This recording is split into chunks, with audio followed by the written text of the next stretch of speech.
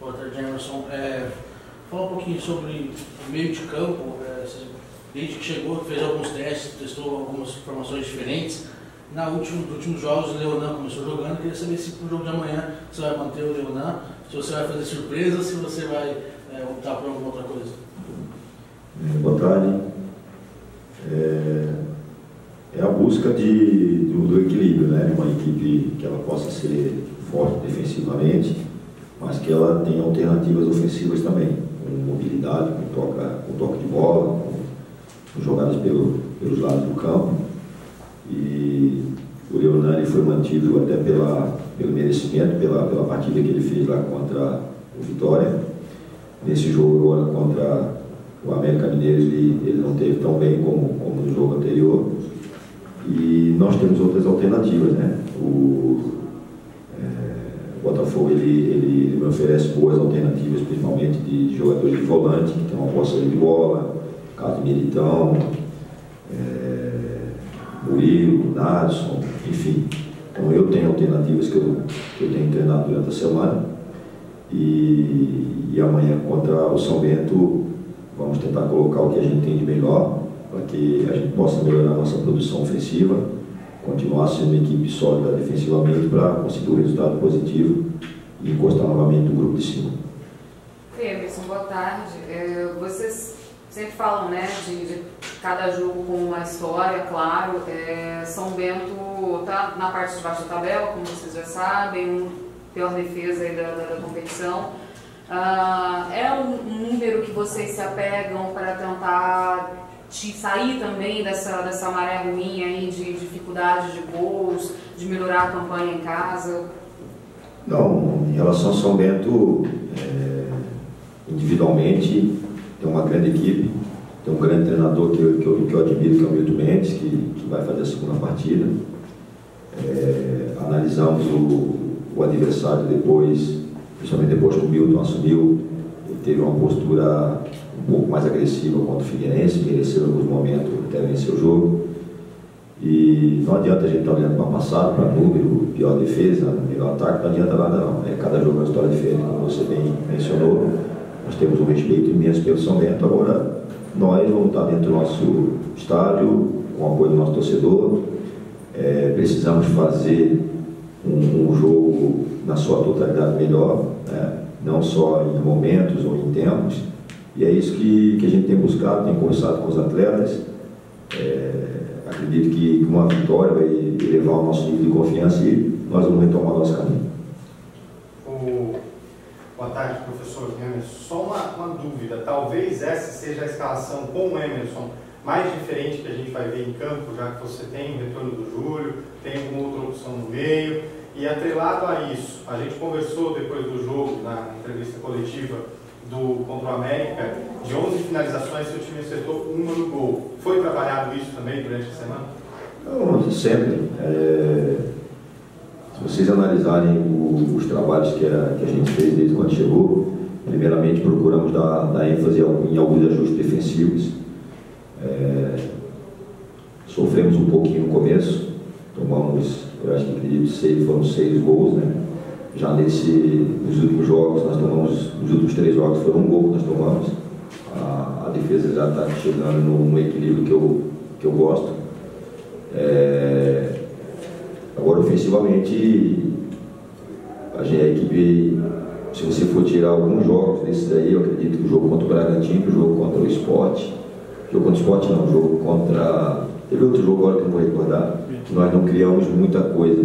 Bragantino e Cuiabá. Cuiabá, a gente não criou muita coisa. Agora, os demais jogos, é, lá contra o Sport nós perdemos um gol, o goleiro dele fez uma defesa sensacional lá no segundo tempo.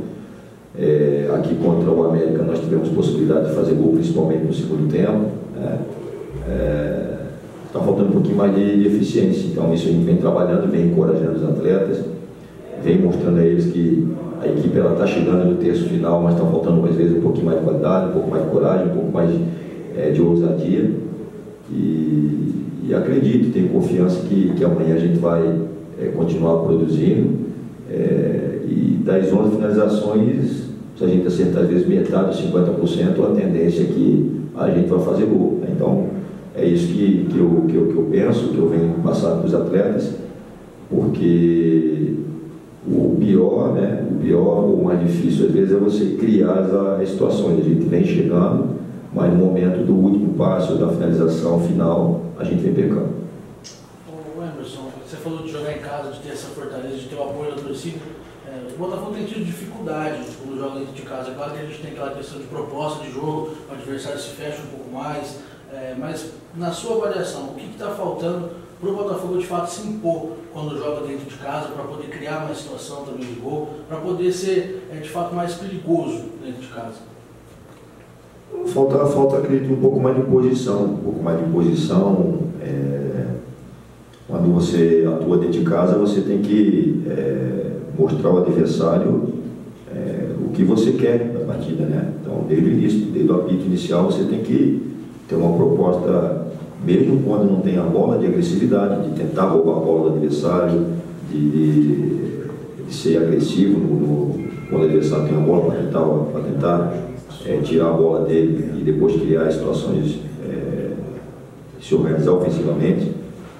E a gente tem feito isso em alguns momentos do jogo e em outros momentos do jogo a gente é, não, tem essa, não tem essa agressividade, né, é essa palavra que eu estou usando agora. É, conversamos com os atletas, há também uma questão às vezes de que falta confiança para alguns jogadores, que erram uma jogada, erra outra, daqui a pouco perde a confiança e, e aí começa a fazer a jogada um pouco mais simples, ele não tem a ousadia de tentar uma jogada um pouco mais é, jogada um pouco mais de criatividade, né? O drible, um chute. Então, eu venho trabalhando muito essa questão também emocional dos jogadores. Porque, volto a dizer aqui para vocês, é, vai ser o quarto jogo que eu vou fazer aqui em Ribeirão Preto. Dos três jogos, eu só tenho que elogiar o comportamento do torcedor. Só tenho que elogiar o torcedor compareceu, teve paciência, incentivou. Teve um momento de dificuldade quando o Paraná, que a gente estava com um jogador a menos e perdendo, o torcedor levantou, começou a gritar. Então, é, nós só temos que nos sentir acolhidos quando jogamos aqui no, Santa Cruz. Não pode ser um peso a mais nas nossas costas quando está jogando aqui. Então, é, esse caminho que eu tenho seguido com os atletas, passando essa confiança, mas somente uma vitória, né? somente uma vitória e uma vitória vezes convincente é que vai fazer com que os atletas elevem o nível de confiança e a gente siga o nosso caminho na competição. Oi, Emerson, é, você sente que está conseguindo, você fala muito da questão do equilíbrio em relação a resultados, né, para ter uma estabilidade na competição, e dentro da partida. Dentro da partida, você acha que está perto de conseguir cessar um pouco dessas oscilações de um primeiro tempo bom, um segundo mais ou menos, ou os primeiros minutos mais ou menos, e aí, enfim, você acha que está nesse, nesse caminho? Olha, é, foi detectado e eu sempre falo para os atletas, é, nós somos a parte mentora, então a gente cria as estratégias, elabora os treinamentos, é, então a semana foi toda voltada para o, essas semanas abertas foram toda voltada para o adversário, o América nós conseguimos em grande parte do jogo neutralizar o poderio ofensivo que o América tem, tem. somente tivemos dificuldade quando o Neto Beirola entrou no segundo tempo, né? mas neutralizamos bem, neutralizamos bem o Viçosa, neutralizamos bem o Juninho, que é o meio que filtra, neutralizamos bem o, o, Toscano, que é um atacante perigoso também, neutralizamos bem os laterais, vocês não viram os laterais do América apoiarem, teve cruzamentos laterais, teve no segundo tempo a jogada individual do Neto Berola. É, nós conseguimos produzir algumas ações ofensivas, como o colega aqui é, mencionou, foram 11 finalizações, só tivemos uma, uma finalização a gol, mas aí você lembra aquela bola que o, que o Enan finalizou dentro da pequena área, a bola que o Natson finalizou dentro da pequena área, o impedimento do Enan por um, uma chuteira, o bico de chuteira. Né? Então a equipe ela vem criando é, alternativas. E, e, isso faz com que eu fique bastante esperançoso que a gente, ela, a gente tenha a, tanto o primeiro tempo como o segundo tempo do mesmo nível. Eu acredito muito nessa palavra, de, uma palavra que eu pauto a minha vida, sempre por equilíbrio. Vocês nunca vão me ver entusiasmado depois de uma vitória e também não vão me ver decepcionado ou deprimido por causa de uma derrota, um resultado negativo. Eu tenho a convicção do trabalho, acredito muito que a gente possa é, retomar é, o caminho do G4. É, é, uma, é uma obsessão que, que, que, que a gente tem, que esse grupo tem, que eu tenho que passar para eles. A gente tem que buscar sempre o mais alto degrau da tabela, não podemos nos acomodar.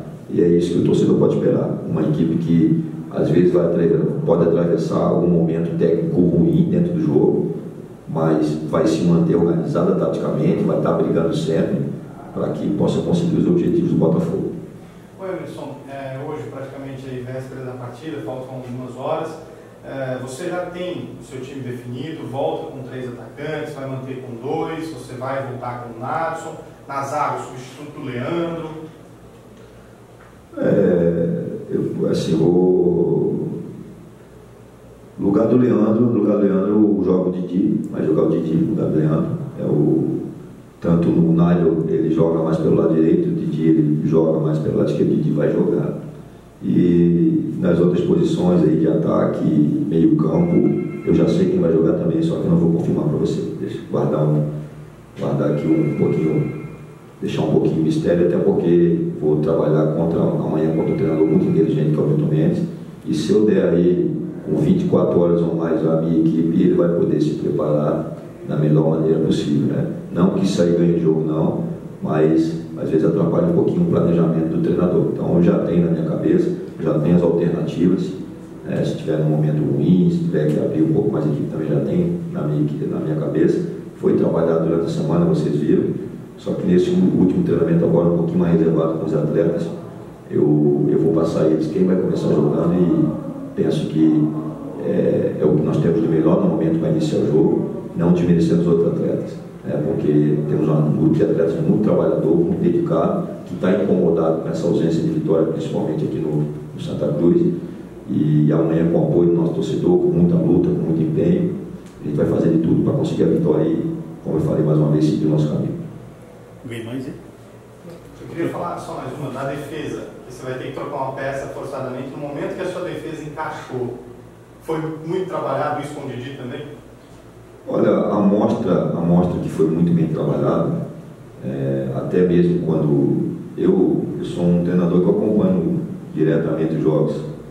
Esposa, minha esposa e minha filha, às vezes fica louca que é domingo, sábado, e eu tenho que fico vendo quatro, cinco jogos, e às vezes gravo o jogo para ver.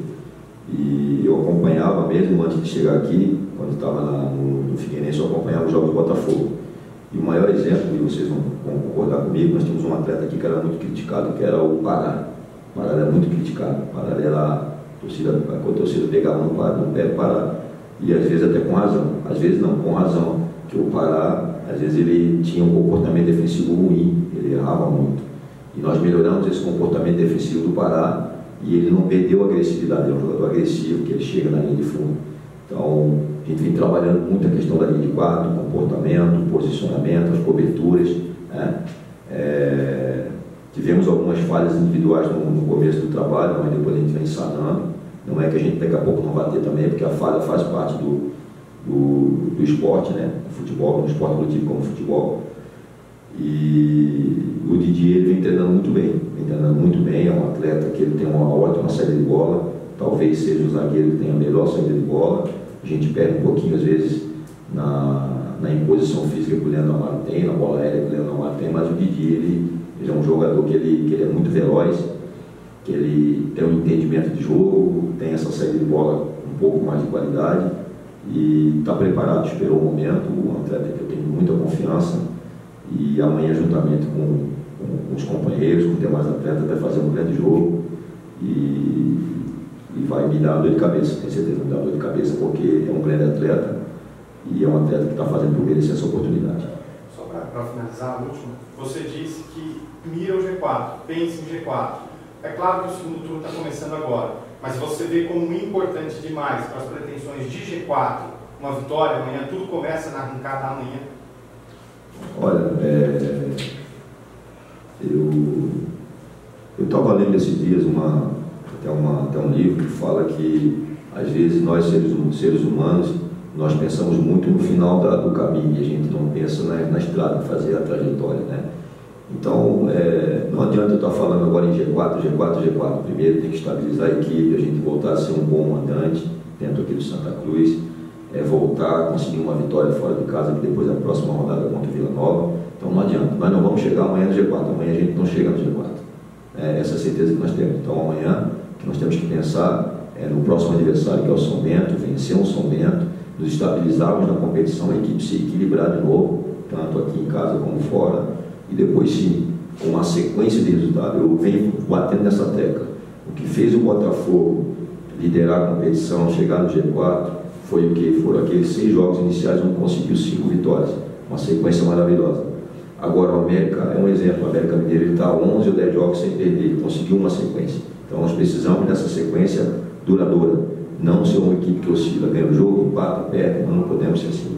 Uma equipe que ela consegue o G4 é uma equipe que ela é regular, tanto é, na, na, performance dentro de campo como questão de resultado.